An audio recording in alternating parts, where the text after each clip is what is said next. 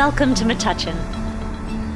Located in the heart of New Jersey, this bustling town is also known as the Brainy Borough, especially for its historic support of culture and the arts. Join us as we introduce you to some of Metuchen's exciting works of outdoor public art and meet some of the artists who created them. Public art comes in a variety of forms and happens in many ways, and here in Metuchen is no exception. Beginning with Revolutionary War era tombstone carvings in the old colonial cemetery on Main Street, and including the 1942 Federal New Deal plaster bas-relief gardeners by artist Harold Ambellan, located inside the Main Street Post Office, as well as memorials to 9 11 and Martin Luther King. And private commissions, like this sculpture by artist Mayan Watkins in front of the Westerhoff School of Music and Art. And borough sponsored commissions like Linda von der Schmidt Lastella's The Seasons. Metuchen has a tradition of public art. When the Metuchen Downtown Alliance was formed in 2016, they committed to bringing new works of public art to Metuchen as part of their efforts to promote and revitalize the downtown MDA business district. One of the main objectives was to try to connect the old downtown Main Street with nearby redevelopment efforts that include retail establishments such as Whole Foods. Since New Street physically connected the two areas, it was determined that placing art along its corridor could help visually bring them together in a more dynamic way. The MDA Public Art team recommended the acclaimed Brooklyn based mixed media artist Steve Powers as someone who could make that happen. According to Powers, Common Ground is open territory, a place where anyone can be. His text based work relates visually to advertising billboards and signage graphics, to which he adds witty puns as a playful twist. In 2018, the MDA engaged Powers to create its first public art commission and invited him to visit Metuchen to provide a proposal for the new street corridor connector project. Through a series of meetings with the public and the MDA, three works emerged. Metuchen Love Letter Number One, Stay in Touch, located off Main Street, and Metuchen Love Letter Number Two, Together, along with a series of street banners along New Street.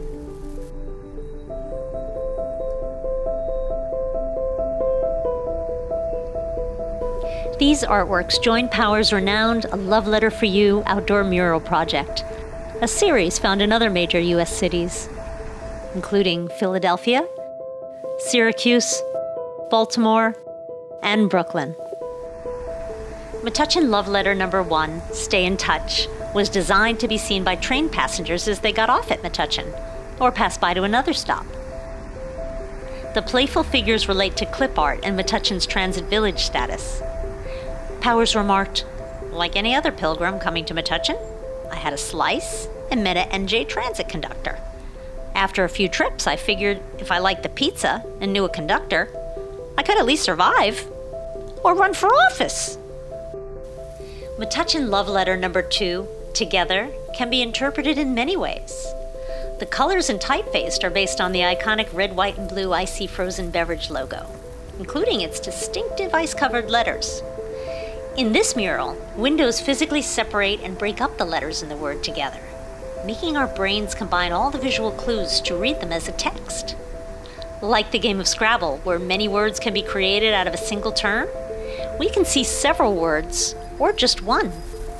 The mural can also be seen as a testament to Metuchen's collaborative spirit of working together for the community.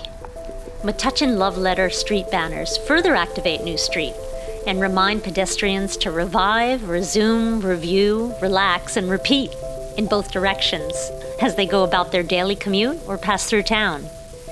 Featuring images of the rising and setting sun and moon, these striking banners create another visual connection between the two parts of town. All three Powers pieces work together to help visually unify Metuchen and link the town to a larger public art project beyond central New Jersey. Another 2018 MDA Public Art Commission was by local Metuchen artist Ed Wetzel.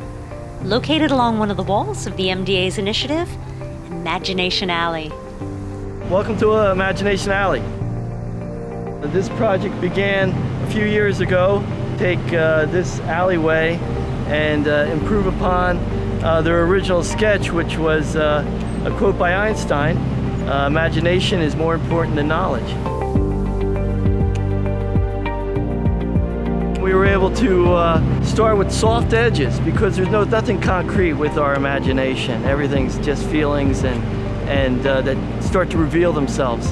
And as as the uh, idea and imagination becomes more defined and uh, and a little more concrete, the edges become a little more uh, linear and uh, defined until uh, it's going through the book of knowledge here and uh, comes out to an idea that can be shared with others.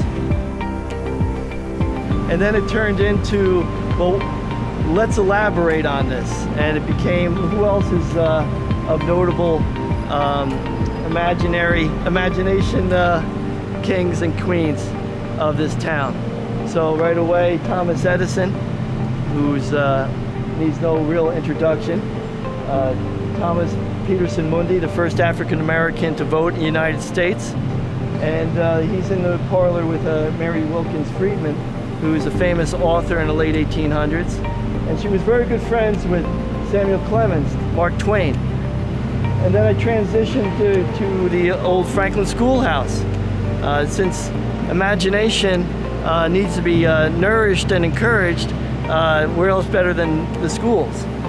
Further down at the far end of uh, the mural, there's uh, a parade scene. And Metuchen has been having parades, Memorial Day parades, for over 100 years here. And uh, my brother was actually the Grand Marshal one year, so I have him representing uh, the, um, the uh, veterans and their contribution. Everything reveals itself in its own time, and I'm sure everybody can look at something on this wall and find something to be familiar, even if it's a butterfly that uh, comes and visits their home.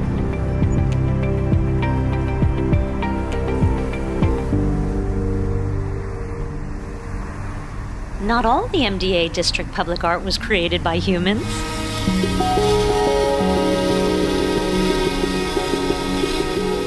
In 2018, the MDA brought Albert the robot to Metuchen to create the first robotic spray painted mural on the nation's east coast. Using a design by former Metuchenite and New Jersey graphic designer Ariel Rutland, the mural features the town's name in a retro video game inspired look related to its location outside the former arcade at Haley's Harp and Pub. Albert was the inspiration of Estonian inventors Mihkel Joala and Henry Patzig, co-founders of Spray Printer. Holding five cans of spray paint, this computer-guided robot used preset coordinates to execute Rutland's design. Rutland noted, most of my graphic design work is print-based, materials you can hold in your hand like branding and packaging design, specialty stationery book covers, so working on such a large scale with wide range visibility was an exciting challenge for me. The robotic spray painted mural illustrates how Metuchen welcomes innovation and creative expression. Some MDA district public art began as temporary projects, like these colorful Adirondack chairs made out of recycled wooden pallets part of a 2019 summer program, the Language Project. It, it was fun to make yeah. for me, and it was sort of a break because I want something that's going to kind of take my mind off of stuff. So it was creative. It was reset. a very fun project that wasn't like anything else I was working on. Saw the application, the call for call for submissions for artists, and I, I thought that you know it would be fun to, to upholster a chair, and I did, and I what I did was I went around town and took pictures of words because it was for the language project. I'm a quilter, so I like taking pictures in front of art. It's very nice that my town has furnished me with so many different backdrops. I think it inspires other people yeah. to create as well because with so many different types of media, it gives them they, they may say, oh, you know, I wouldn't, well, I'm a quilter and I wouldn't have thought about doing that. So it really shows them how you can apply different things in different areas. And I don't know, I, I've seen so many, so much more public art here than I have elsewhere. I'm really happy with how mine turned out. I was really surprised that it turned out as well as it did. And I'm very proud every time I drive by and I see people sitting in it. And that was one of the more fun things last year was people would take selfies in them. My, my whole, well, other than spreading um, happiness, love, and peace, was to really create something that made people feel welcome and emphasize the whole the thing I like about town, which is that it's a very inclusive community. It, you, everyone feels welcome here. Grant funds and support from MDA stakeholders have provided additional public art opportunities for the district, including this 2020 mural meshing histories by New Jersey native artist Jonathan Horowitz. So this mural here, I, I, I call it a historical mural, but it tells a nonlinear history. You know, you could tell history through dance, you could tell it through music, and you could tell it through, you know, what I'm doing here is, you know, another for, abstract form. Um, so I'm trying to just think about, you know, what has happened in this area in the last, you know, four or five hundred years, and also the big changes that have happened in the last 20 or 30 years and depict them in a way that on the surface it's somewhat unfamiliar. You're going to be confronted by images that you don't recognize. and I want that to allow spontaneous consumption of, of the content.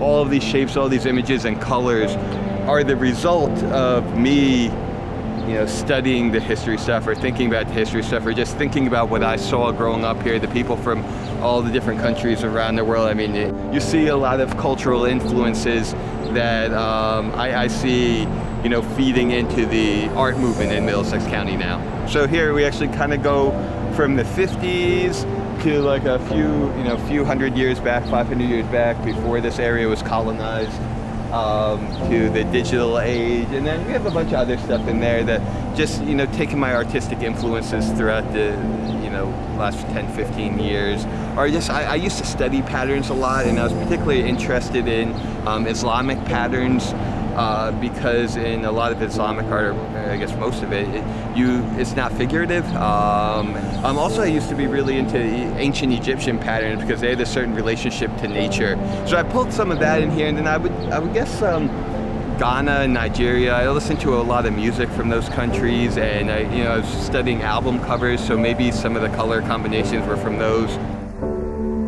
I didn't want to end up uh, appropriating other art and just doing other people's art. I just know I've studied this stuff for years and years and years, and whatever I make is going to have that art as part of it. Metuchen is an inclusive community that works together to celebrate the arts, honoring its traditions while embracing the future.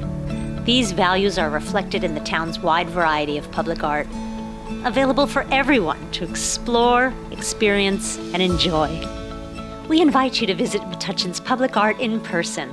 Stop by and grab a takeout meal, or stay longer to dine in one of our many fine restaurants, or shop in our unique boutiques, and take a leisurely walk downtown to appreciate all that Metuchen has to offer. We hope to see you sometime soon.